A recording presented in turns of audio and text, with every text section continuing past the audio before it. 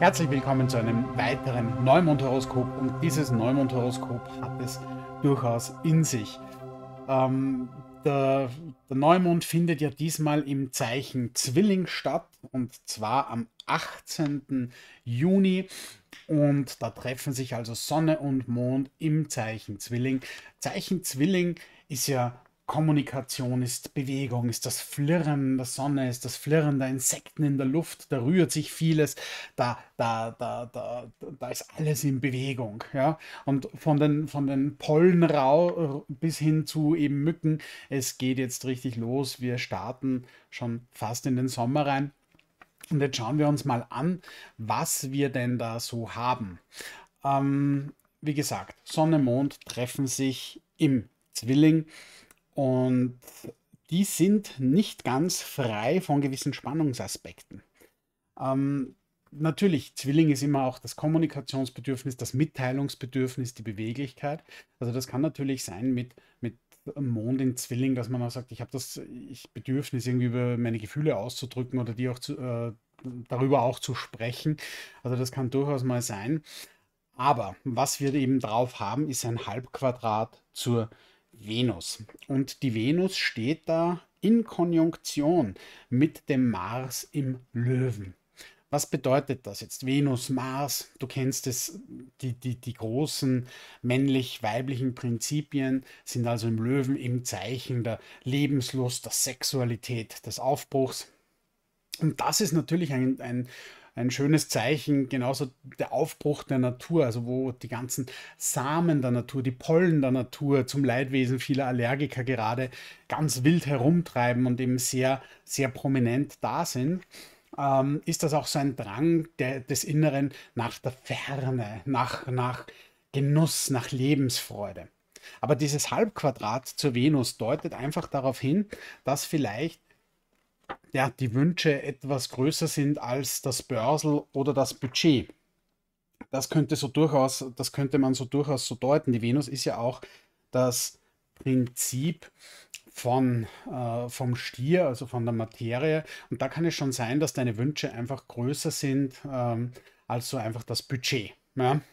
Ähm, was auch darauf hindeutet, Jupiter ist ja in Stierzeichen gewandert und der macht auch noch ein Quadrat zur Venus hin. Also Jupiter im Stier, das ist ja so diese ein bisschen das zur Übertreibung neigende und der ermahnt uns mit einem Quadrat auch ein bisschen darauf aufzupassen. Also wenn jetzt zum Beispiel die Zeit kommt von Urlaubsgeld, dann würde ich dir empfehlen, teil dir das vielleicht besser ein oder mach jetzt nicht, hau jetzt nicht alles auf den Kopf. Also schau, schau mal, dass du da ein bisschen äh, schlauer bist, beziehungsweise auch wenn da jetzt die Bedürfnisse größer sind als das Börsel, also sei ein bisschen geschickter vielleicht mit den Finanzen, da merkt man einfach der Druck, dass sich vielleicht auch der Geld oder das Geld oder der Urlaub nicht so ausgeht, wie man sich das vorstellt. Also da, da gibt es ja frei nach dem Sprichwort, ich lebe zwar ständig über meine Bedürfnisse, aber immer noch nicht standesgemäß. Also das wäre eigentlich so mit diesem Jupiter-Quadrat Venus und auch dann dieser Venus-Halbquadrat dazu Sonne, Mond in Zwilling, wäre das eine Deutungsmöglichkeit. Wir haben natürlich mit Venus, Mars diese, diese kosmischen Liebhaber, die, die da zusammenkommen im, im Lustzeichen, also im, im Lebenslustzeichen, im Löwen. Also das ist natürlich schon eine Zeit auch, wo man, wo so gewisse Leidenschaften sich entwickeln können, wo die Säfte aufwallen können. Also es ist durchaus eine, eine romantische Zeit auch. Das wird auch verstärkt, diese Romantik durch, dein, durch den Neptun, denn der Neptun macht ein Quadrat hin zu Sonne und Mond. Und Neptun ist ja der große Träumer und der steht ja in seinem Heimathaus, in den, also im Heimatzeichen in den Fischen. Und da kann es natürlich sein, dass dieser Neptun auch noch einmal so ein bisschen träumerischer macht, ein bisschen äh, so in die Ferne schweifen möchte und da dann auch durchaus so der Liebestraum möglich ist. Das ist natürlich auch eine Chance, wenn du in einer Beziehung bist, dass du diese Beziehung jetzt auch noch einmal ähm, auf ein neues Level bringst ne? und, und vielleicht auch eventuelle Spannungen, die in einer Beziehung herrschen oder vorherrschen, ein bisschen überdenkst, überarbeitest und mit deinem Partner, mit deiner Partnerin einfach einmal schaust, dass da vielleicht auch ein neuer Gleichklang entstehen kann. es deutet natürlich auch darauf hin, also so dieses, dieses Venus-Halbquadrat, das kann natürlich auch darauf hindeuten, dass man äh, das Gefühl hat, sehr viel mit Egozentrik ähm, konfrontiert zu werden, also mit sehr starken, lauten Menschen. Das muss nicht immer ein Streit sein, aber wo es dann immer der, der Punkt ist, nehme ich mich zurück oder was tue ich denn jetzt? Und da ist es auch natürlich eine gute Zeit, einfach einmal vielleicht sich auch ein bisschen zurückzunehmen, nicht in einen Streit zu gehen, äh, so, so ein bisschen so Potenzial wäre da halt vorhanden. Der Merkur steht ja auch im Zwilling, also in seinem Heimatzeichen, und der hat ein Quadrat zum Saturn im Fischezeichen. Und äh, Saturn-Merkur-Quadrat, also da kann es sein, dass etwas nicht ganz so rund läuft, wie man sich es vielleicht vorstellt, nicht ganz so leicht läuft, etwas vielleicht etwas anstrengender ist. Und da komme ich auch noch einmal so ein bisschen auf die, auf die Kommunikation, auf dieses Prinzipienreiten zurück. Also da ein bisschen aufpassen, jetzt so das nächste Monat, ähm, dass man sich da nicht zu sehr rein versteift. Ähm, das ist auch außerdem so mit Saturn, das kann eben auch Schäden an Maschinen sein, das kann da, da, kann, da kann alles, was so technisch ein bisschen ist, ein bisschen eingeschränkt werden. Da kann es ein bisschen zu, so, so, zu Ausfällen kommen oder eben zu Pannen kommen. Also das sollte man da ein bisschen am Radar haben, wenn Saturn und Merkur da ein Quadrat bilden. Eine, äh, eine sehr, sehr große Geschichte, also ja, eine sehr, sehr große Geschichte ist natürlich auch Uranus-Mars-Quadrat.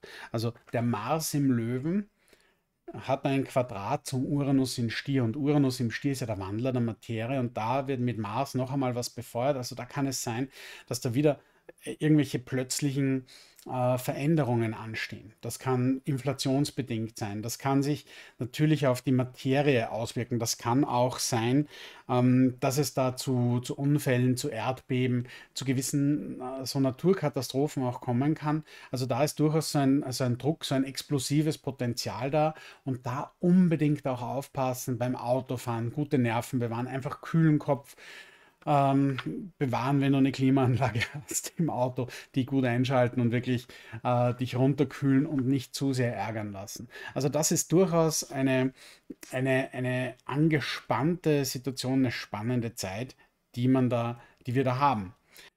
Dann kommen wir noch einmal zurück zur Venus und dem Neptun. Der große Liebestraum, der große Traum von einer erfüllten Sexualität und da ist ein anderthalb Quadrat drauf. Das bedeutet, Brust.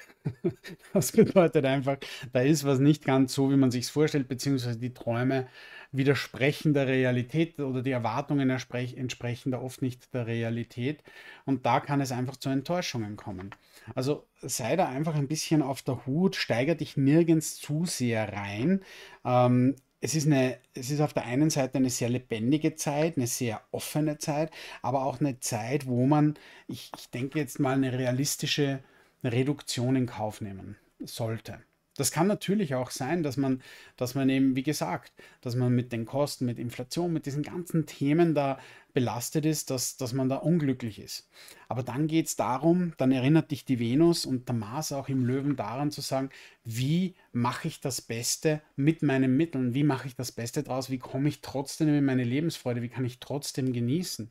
Und ich sage ja immer, es muss nicht immer der Strand an der Côte d'Azur sein. Es, es kann auch mal der Strand am See sein, wenn ich sage, ich, ich habe Sehnsucht nach Strand, nach See, nach, nach, ähm, nach Wasser dann ein bisschen, sei ein bisschen kreativ und, und genieß das auch. Denn die Venus will einfach Freude genießen. Wie kannst du Freude genießen? Und wenn es jetzt nicht fürs Fünf-Sterne-Restaurant reicht, dann, dann mach dir vielleicht daheim mal eine schöne Grillparty oder lade Freunde ein und die sollen was zu essen mitbringen. Also es ist wirklich, da ist Kreativität gefragt und die soll da auch gelebt werden, denke ich, in dieser Zeit. Kommunikation, Kreativität und lass dich nicht unterkriegen.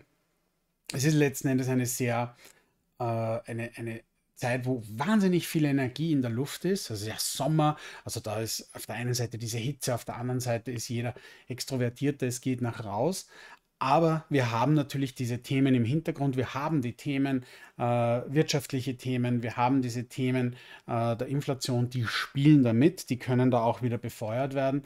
Und das kann natürlich sein, dass das etwas auf diese Freude drückt. Aber die Freude ist trotzdem da, das Potenzial zur Freude ist da und das Potenzial zur Lebenslust ist da. Das ist ja nicht genommen worden. Ja? Und da sollte man sich vielleicht auch den Gedanken stellen oder die Frage stellen, wo kommt denn meine Lebensfreude her? Also befreie dich in solchen Zeiten wirklich von Mangel, äh, vom Mangelgedanken. Egal, ob es jetzt der Mangel an Liebe ist, ob es der Mangel an Geld ist, äh, egal, ob es der Mangel an Freunden ist. Denk nicht in Mangeln, denk an Möglichkeiten. Und werde lebensfroh, werde charmant, geh nach außen, bündle deine Energie. Und ich denke, das ist ein gutes Monat, um seine Energien zu bündeln, um einfach zu sagen, okay, passt, ich bin da, ich bin mit meiner männlichen, mit meiner weiblichen Kraft, mit diesen aktiven, passiven Kräften drinnen und forme damit meine Lebenslust, meine Lebensfreude. Und so kommt man dann natürlich auch durch ein angespannteres Monat. Ich wünsche dir auf jeden Fall eine gute Zeit. Alles Liebe. Lass mir gerne einen Daumen hoch da, abonniere meinen Kanal und ich hoffe, wir sehen uns demnächst wieder aus dem wunderschönen Lenz. Dein Oliver Ereni. Tschüss, bis nächstes Mal.